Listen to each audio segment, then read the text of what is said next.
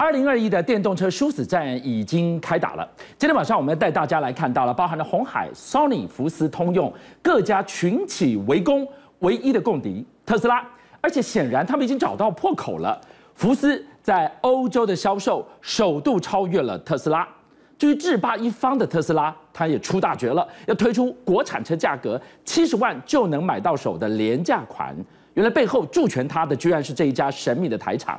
靠着一丝一缕比头发还细的铜箔，助权特斯拉一统天下。今天杰明要来告诉我们这一场电动车江湖的殊死战。好，当然我们知道特斯拉已经面临到一个很大的问题，是群起围攻哦，所以他一直在思考一件事，怎么来突破这样的一个围困境哦，所以他决定在二零二二年要出一个杀手级的车子，这车子报价只要七十万新台币呀！我们听错，国产车哎，这已经是国产车的价格，而且重点是它一样用的是 Model 三的这个我们说底盘，然后搭配比较轻小的车子，但问题来了，它的续航力依旧。非常的强劲哦。那据了解，这个车子呢，为什么会被知道呢？原来哦，就是特斯拉有意思把这续集透过他的这大车厂 Giga Factory 把它给公布这个消息，是由这个 Twitter 的一家叫 Moneyball 呢揭露这个讯息，他要出七十万的平价车了。你知道续集开出来的时候，人家想说啊，这个车不是只有中国来买啊，因为欧洲也很适合，因为欧洲也是小车。但没想到声音传到美国说，哦，可以可以可以，我也想要一部特斯拉，你小一点没关系，这个价格我。可接受啊！全世界都买得到，那这么一甩开，大家不就更看不到车尾灯了？是的，所以哎，等一下，你们看车尾灯，等我们再谈哦。但是你知道吗？其实电这个特斯拉这种崛起，是因为它在锂电池做了一个革命性的改革。因为我们以前讲的电池都大颗大颗的，就把它小颗小颗的时候并联的时候，可以加速的这个呃充电，可以这个让车子行驶更久。但是问题是你今天把电池做那么小，而且要这么大片的时候，你的任何的。阴极跟阳极的这阴阴阳极就是铜箔嘛，阴极就是石炭烯嘛。你要做小，石炭烯做小没问题，但在铜箔你要做小可是大学问呐。就翻开来才知道，原来他背后有个引武者，这个人竟然在南部的一家神秘的石化公司，叫做长春石化。我讲完大家一定不知道，因为大家只知道台塑，其实错了。长春石化在台湾具有一个叫北台塑南长春的一个要件呐。好的，长春石化呢，因为之前我们的 PCB 印刷电非常。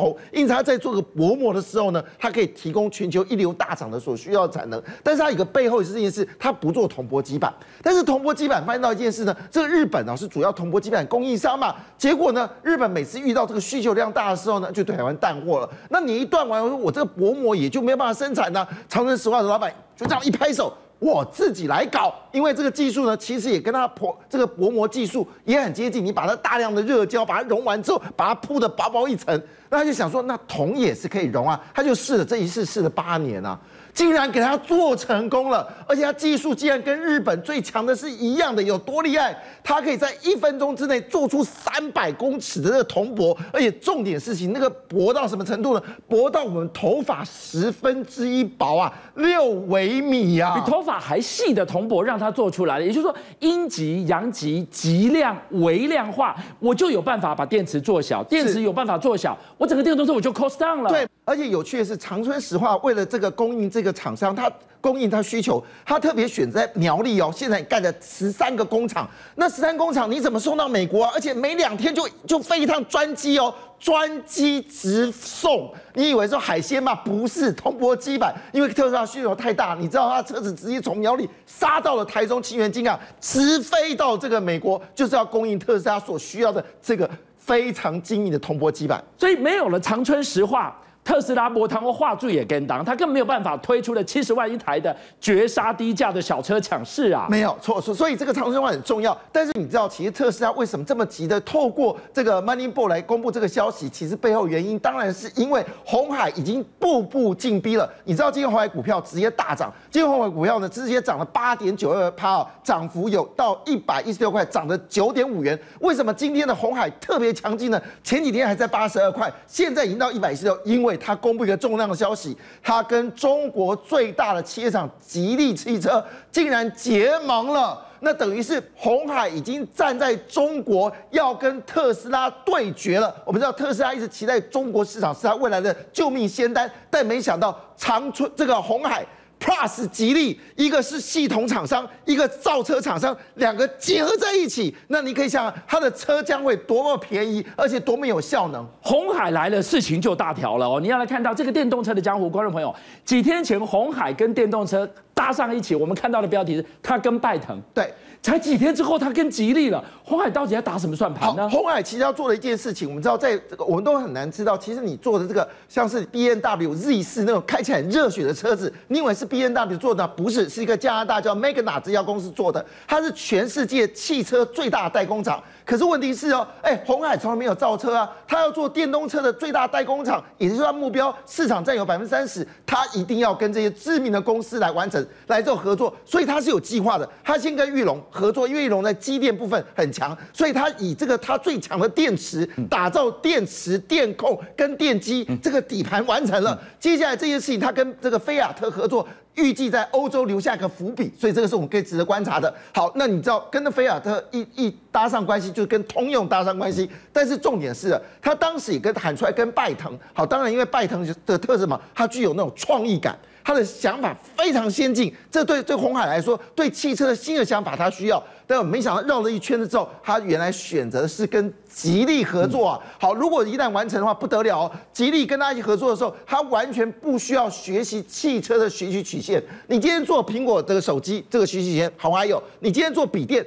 也有做伺服器，也有啪啪做这个游戏机都有，但你没有做汽车的学习那你要从头开始学习起了，这来不及了，来不及了。所以他跟吉利一旦合作成功的话，这恐怕将来在中国市场里面，特斯拉这七十万元出来的时候，能不能偷杀中国市场？搞不好七十万出来的时候，吉利也跟红海出现七十万一样对决。但不同的事情是什么？要知道，红海最厉害是把成本压低，把效率扩大，这件事情。这个不是一般人可以做得出来的事情说到底，红海现在就是把电动车变成放大版的 iPhone，它既然都能变 iPhone 的霸主，电动车野心勃勃。好了，马斯克要。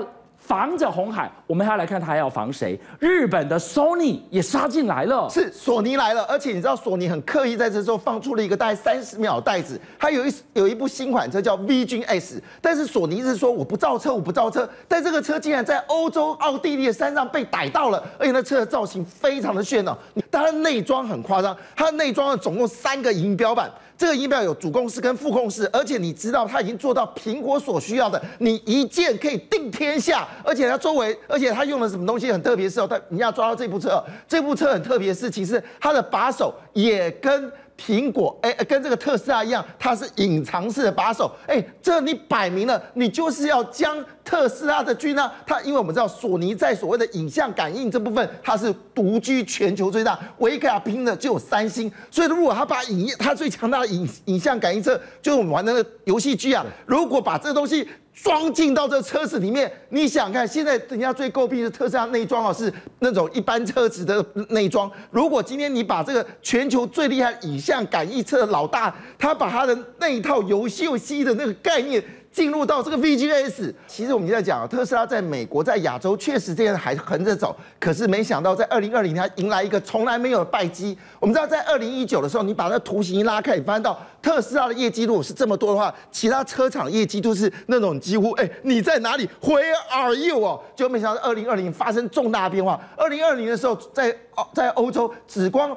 福斯汽车就销售了二十五点六万的电动车，我没说错，二十五点六万电动车，其中当然包括欧迪的高价车，还有它一个最厉害的 ID 三。那我说 ID 三完就 ID 四哦，而且价格在一百二十万新台币。好，为什么特别讲这些事情呢？因为有两个国家让特斯拉绝对哭出来。我们这样讲，特斯拉一直很骄傲，他在中国，他看好中国市场的成长率嘛？确实，中国成长率，电动车市占率可以到百分之十，全球百分之三。但是不要忘记了，在挪威，现在电动车跟电动混合车已经到 Mission Impossible 的六十三个百分点。好，六十三百分点，那特斯拉很开心啊。那我一定占有多？对不起哦，一打开资料里面，它是老二。好，那没关系，你在挪威是老二。那荷兰呢？荷兰现在拼到电动车已经到 Mission 不可能的 Mission Impossible 五十三 percent 哦，就一打开。看来特斯拉还是老二，而且它跟这个这个摩这个 T T I D 三呐，一差差了将近有差不多呃三千万三千辆车哦。可是呢，没想到在后面那部车是谁？你知道吗？竟然是现代的电动车，跟它差距竟然只有一百万、一百一百辆车啊哎，！这我不懂哎，哎，你看，你从挪威到荷兰，这个新能源全世界走在最前面的，照理讲特斯拉水涨船高才对啊。是别的地方可以当老大，怎么来这个地方反而铩羽而归了？没有错，所以欧洲已经有这种企图心，说我为什么要用美国的特斯拉？我们欧洲人不能造出跟特斯拉一样的车吗？好，就在这个时候，我们说平面车里面已经变成战国秘籍嘛，大家都围特斯拉围剿中。可是特斯拉忘记一件事情，有些飞有些车要。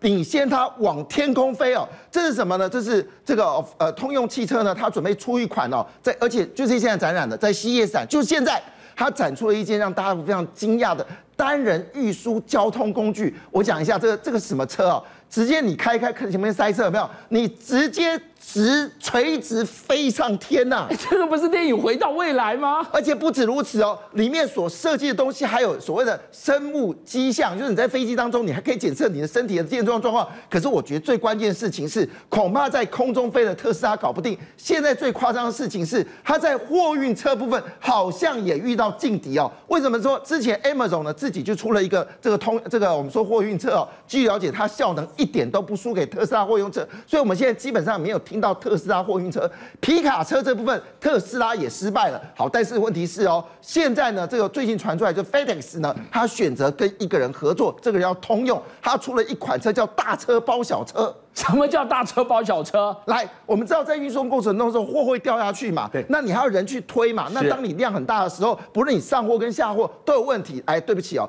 这个通用汽车看到这件事，它在这次系列展里面出现一个很可爱的一个方一个方形造型，好像未来的一个造型，就是你出来这一款。这一款的名称呢，它叫做这个 eVoto 哦，eVoto 呢，它其实我真我先讲一下哦，不论你是看到那个车，还是现在说 eVoto，它其实取了一个名字叫 Broad Drive。